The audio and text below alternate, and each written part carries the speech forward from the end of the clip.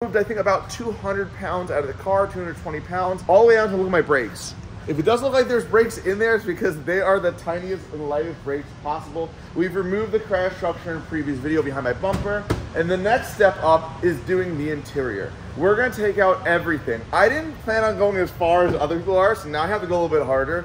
And there's people literally removing the full interiors all the way down to speakers and stuff out of the car. Headliner, talking about two, three pounds each thing. And we're gonna try doing all that too. And then after we will scale the car and see just how light we can make it. There's obviously things we are adding back along the way, like nitrous. There will be some additions. Obviously, I have a massive front mount intercooler. I think it was how much of intercooler weigh? 60 pounds. We put a heavy intercooler. We put two turbos in the car. So there is definitely some weight that we've added to it. Plus, we're doing bigger piping than downpipe. Check this out. You, the guy she told you not to worry about it. How inches is it allowed? I think it looks better. It's gonna look cool with two of those. So there's certain things like that we're doing to add a little bit of weight here and there, but overall the goal is take out as much as possible, even including my carbon fiber bucket seats that are super duper expensive and worth a bunch of money. We tried to weigh each piece of the interior individually to try to keep track of exactly how much weight we pulled. You guys will see we do have an idea of the exact weight we pulled out. When it all got added together, it was all kept track of. But all the footage that was recorded was so zoomed in, I'm not going to go through all of it to show you each piece. We're going to do a separate thing on how much weight we took out and add it all up. This is a condensed version. The reality is, to all the parts were pretty light. The carpet on the E36M3, for example, is like 50 to 80 pounds. The carpet in this car was maybe 10 pounds. There's no sound ending from the factory, but all the little things do add up to hundreds of pounds removed in total. So it is worth it. Uh, who spilled coffee in my car? What are you talking Right here, bro.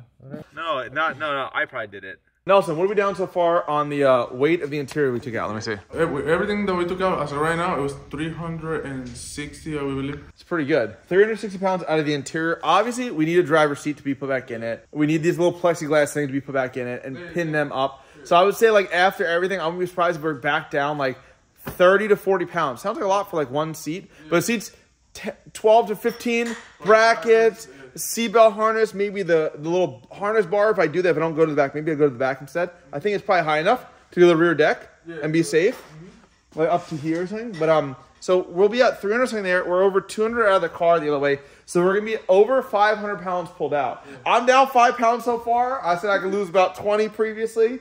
I don't know if I'll keep that off by the time the car's in. If I'll start eating again. To make the plexiglass windows, it was sort of a long process. All the doors had to be fully stripped down, the window motors removed, and then all the glass taken out. The glass then outlined on top of our plexiglass, as we call it. All edges were cut and trimmed so they wouldn't damage my OEM door seals. That way, if I ever put the OEM windows back in, they would still work.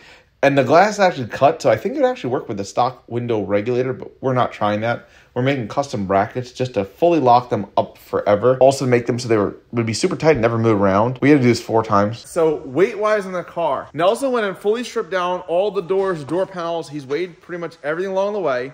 And this is where I'm at. I, we've decided to not cut the doors and not buy a spare doors. To spend $2,000 on four doors to save another 20 to 40 pounds, while that is a lot of savings and there are people doing it, it's not in my wheelhouse right now. I just don't, um, I can't justify that. Spend that much money to do that, it's not really in the cards. Interior wise, it is gutted. And when I say it is gutted, it is gutted. This front carpet's gonna stay because we had to trim, we like take apart a lot of things to get it out. So I think that's gonna stay. There will be no door panels in the car. We might do a little um, um, harness thing so I can be in like a full halo seat with proper harnesses and like a fire suit for personal safety reasons. Crash Car 180 you got problems anyway. I'm trying to go really really fast, so I think that's that's in the.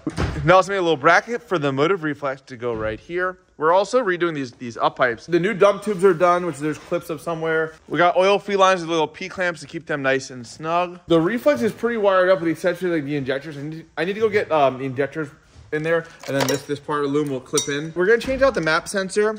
So when I had him do the charge pipe, there's another bung over here, which car's obviously get nitrous, and we have another bung here, down here somewhere. Other bung right here. That other bung is actually gonna be where we're gonna put the new map sensor. Factory goes to like 45 pounds boost. The map sensor everyone keeps buying goes to 55. They claim it really goes like 50, 52 because of how it reads. The one we're doing will go like 58 pounds of boost that it can actually read, I think. And that'll be enough to get us probably to my goals. If not, we'll go from the five bar and put like a seven bar map sensor in it and go higher if needed. I'm not worried. We'll run as much boost as needed. I'm not scared. I will say though, this is gonna change everyone what they're doing with their supers. I think if this car works as I think it will. We're gonna hit the dyno in just a second, but first we're just buttoning up all the little tiny things. I really want the bumper on before we put it on the dyno. But if you look at all the little changes we've made that I haven't shown you guys yet, the nitrous setup is 100% done. I mean, there's a purge missing that's going to come through here into the front bumper.